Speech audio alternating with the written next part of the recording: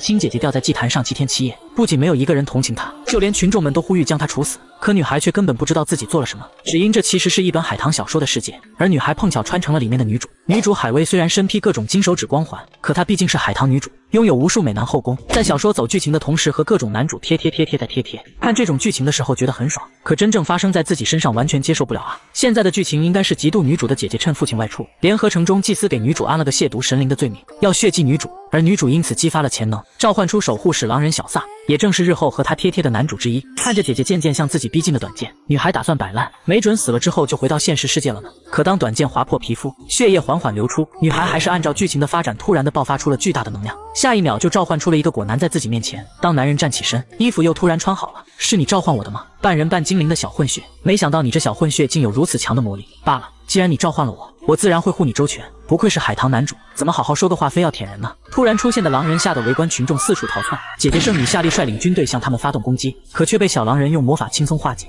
别担心，小混血，我带你离开这里。但其实海威根本不想离开呀，比起待在这里被血祭，我更担心被你带走以后要各种贴来贴去啊。到了一个废弃的小酒馆，海威主动要求停下，小狼一脸的不解，说了带你出城，你却非要挤在这小破酒窖，也不知道在想什么。但其实海威是为了避开野外贴贴的剧情。原著里两人一出城就遇到了妖兽，萨维尔跟妖兽打完以后魔力紊乱，只有贴贴才能缓解。可没想到海威千算万算还是失策了，这样一个破旧的小酒馆里竟然出现了三级魔物。区区三级魔物，小萨起初并未放在心上，一招下去就把魔物撕了个粉碎。海威瞬间感觉被惊艳到，亲眼看到打斗场面确实比从书里看更有冲击力。可下一秒小萨就发现事态不对，刚死掉的魔物竟然触发了爆体，有毒的液体喷洒向两人。小萨第一时间眼疾手快地将海威护在身后，可自己却遭到了毒液的侵蚀，痛苦地倒在地上。海威瞬间手足无措，他为了救自己而受伤，自己要怎样才能帮到他呢？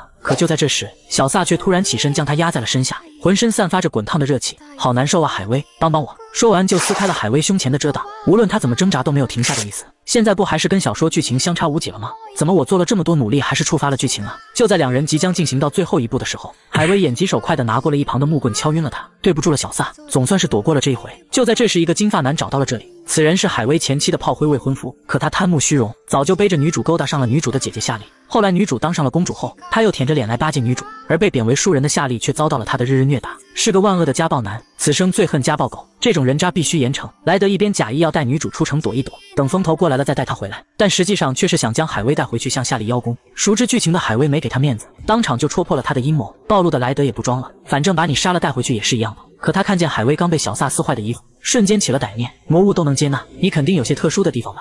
说完就想品尝一下。就在危急时刻，咱们的金手指女主觉醒了魔力，向渣男发动了攻击。但她的能力并不熟练，不仅没能重伤莱德，反而更加激怒了他。就在他以为自己即将要落入魔爪的时候，小萨卡点醒来救人了，仅用一招就彻底解决了渣男。看着面前的尸体，海威不自觉感到害怕。小萨赶紧抱住了他，小混血，你能坚持到我醒来已经很不错了。好了好了，这么恶心的东西咱不看了，谢谢你，萨维尔。海威难得的在这异世界里感受到了温暖。可就在两人互诉衷肠的时候，姐姐夏莉却找了上来，看到眼前倒在血泊里的莱德，吓了一跳。海威，你果然是魔物，联合阿贝罗族滥杀无辜，来人，快把他们都杀了！小萨站出来挡在了海威的面前，就凭你们几个，我看谁敢！夏丽身后的小喽啰们马上吓得瑟瑟发抖，毕竟他们可不是魔族的对手。就在这时，夏丽最大的帮手猩红女巫赶来了。小夏丽，就是这两个人欺负你吗？话音刚落，小萨就和女巫展开了搏斗，而女巫有着千年的修为，小萨根本不是他的对手，没过两招就落入了下风。女巫的黑魔法一遍一遍地侵蚀着他，海威再也看不下去了。在现实世界里，自己最好的朋友为了陪自己加班，竟然意外的猝死离世了。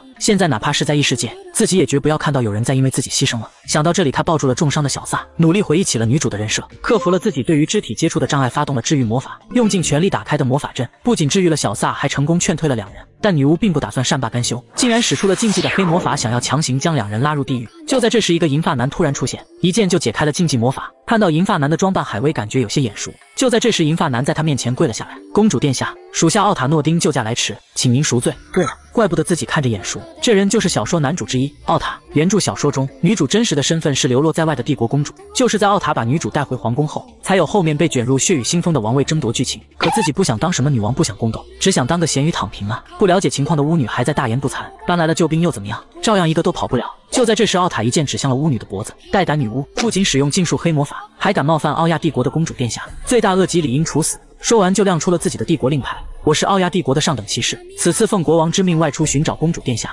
让你们的人放下武器，乖乖束手就擒。巫女和夏丽瞬间惊呆了，尤其是夏丽完全不敢相信，海威不过是个不知道哪里捡来的杂种啊，她怎么会是公主？可万一她真的成了公主，那我不是惨了？一瞬间，夏丽起了歹念，靠近了巫女，小声说：“对不住了，师傅。”说完，一转身就是一个响亮的巴掌甩在了女巫的脸上。你这该死的巫女！海薇是我最亲爱的妹妹，谁让你这么对她的？在场的三人一脸懵逼，罪魁祸首不是你本人吗？接下来，夏丽展现了茶香四溢的演技。海薇，我真的没想到安杰居然会私自刺杀你，还好我赶来阻止，不然就酿成大祸了。奥塔先生，你要为我做主啊！海薇是我的妹妹，我怎么可能害她呢？海薇看不下去了，夏丽，收起你拙劣的演技吧，你做过什么心里最清楚了。海薇，自从你来到我家，我有的你都有，我没有也都先给你了，你怎么能这么误会我呢？就在这时，巫女发动了魔法，企图逃跑。奥塔赶紧下令让手下去追，别让她跑了。可功力深厚的巫女还是一瞬间就消失在了众人的眼前，逃出了案发现场。巫女捂着被打伤的脸，有些难过。小夏怎么能这么做？我对她明明那么好。可这时，一张纸条从她的衣服里掉了出来，竟然是夏丽那时偷偷塞给她的。师傅，去告诉莱德的父母莱德之死，让他们找海威偿命，借刀杀人。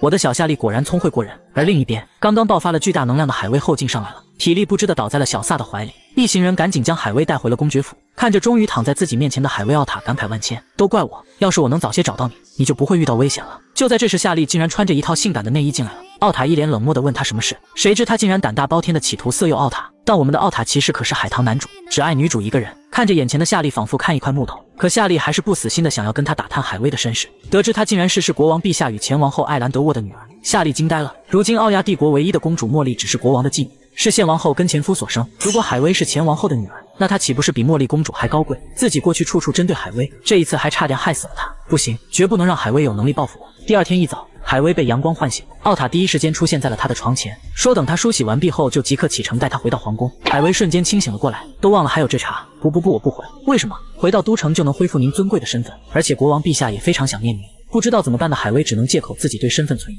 要等自己的养父回来问清楚再回去。奥塔也被说服了，确实应该和您的养父通知一下的，是属下考虑不周了。说服他后，海威赶紧借口去找小萨，离开了他的身边。来到客房后，竟然发现小萨又是一身的伤口，怎么回事？自己昨天不是已经用治愈魔法把他治好了吗？提到这事，小萨又来气了。原来昨天奥塔为了和他争夺海威的守护权，竟然命令自己的手下压住了他。小狼崽一脸咬牙切齿，海威只能苦笑着安慰他，一边帮他上药，一边向他道谢：“谢谢你一直保护我，要不是有你。”我肯定对付不了山蜘蛛和那些人。小狼崽一下就被哄好了。放心，小混血，是你把我召唤来的，不管发生什么事，我都不会丢下你的。这句话正中海威下怀。真的吗？那我们一起逃跑吧。刚刚奥塔的骑士团把公爵府围得跟铁桶一样，自己只能寄希望于小萨了。可小萨一脸的不解，你马上就能回宫恢复身份，不用再担心受人欺负了，为什么要跑？海威可怜巴巴的拉住了他的手，因为我想活下去，恢复公主的身份就要面临更凶险的王位之争，我不想因此而丧命。看着他的样子，小萨动了恻隐之心，不由得想起了母亲小时候为了活命带他四处奔波的样子，所以小萨即使知道自己可能打不过骑士团，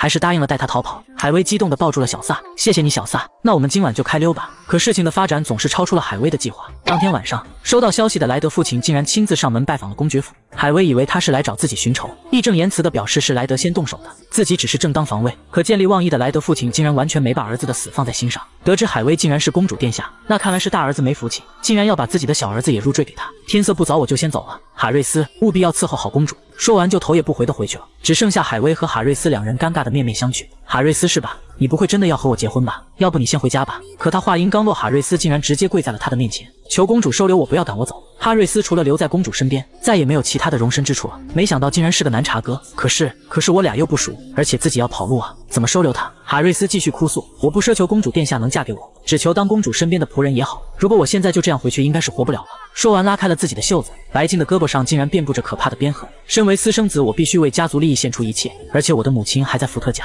听着她的哭诉，海威有些不忍。可小说里面根本没有哈瑞斯这个人物啊，难道是因为我的缘故，小说出现变动了吗？不管怎么样，总不能见死不救。于是他勉为其难的答应了哈瑞斯留在公爵府，自己跑路的计划不会变。等到他的母亲平安后，他可以自行离去。到了晚上，海威和小萨按照原计划准备开溜，可这时哈瑞斯却鬼鬼祟祟的出现在了门口，竟然还从女佣那里偷来了海威房间的钥匙。虽然公主还没有完全接受我，但不要紧，只要将生米煮成熟饭，她就必须对我负责了。可他一进门就被眼前的景象惊呆了，下意识地发出了尖叫，哪怕两人让他不要发出声音，也已经来不及了。巡逻的骑士团还是听到了动静。公主殿下，发生什么事了？这里刚刚为何传出了男子的声音？只见海薇一个人哆哆嗦嗦地躺在床上，谁知被子下面竟然藏了两个扭打在一起的男人。奥塔可是骑士团长，这点小动静根本逃不过他的眼睛，眼疾手快地举起手中的剑。什么人竟敢挟持公主？一剑将被子划成了两半。眼前的景象让在场的所有人大惊失色，小小的被子下面竟然藏了两个孔武有力的大男人。哈瑞斯赶紧随机应变：二，公主，我们两个还不够，你还叫了这么多人来吗？什么？奥塔可将我